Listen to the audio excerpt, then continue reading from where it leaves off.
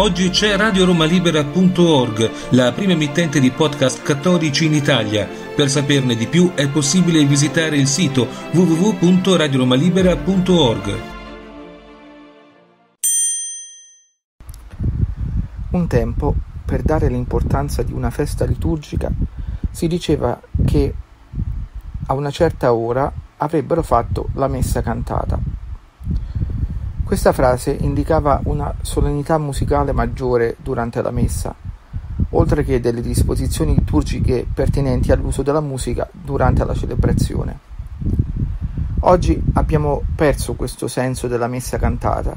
Oggi le messe sono tutte più o meno uguali, sia che ci troviamo nel tempo ordinario o a Pasqua. Intendiamoci, la messa è sempre la messa, il suo valore è sempre straordinario ma proprio per i fedeli avere il supporto di una certa musica che invita alla devozione e all'adorazione certamente aiuta grandemente nella propria vita liturgica.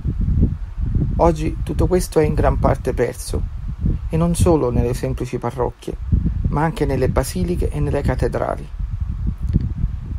Nel libro La messa di Padre Pio viene detto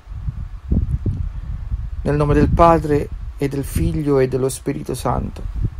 Sono parole che Padre Pio pronunzia sempre con un grosso nodo alla gola, per contrastare e reprimere un pianto che non riesce del tutto a raffrenare. Il suo mea culpa, poi, era accompagnato da sordi e scanditi pugni sul petto, per confessare dinanzi alla comunità dei fratelli di essere il più grande peccatore del mondo. Fine della citazione.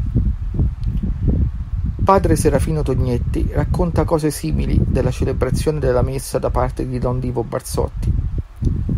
Insomma, se abbiamo perso il senso della sacralità della messa, viene di conseguenza che anche la musica avrà meno impatto e significato per la celebrazione della stessa.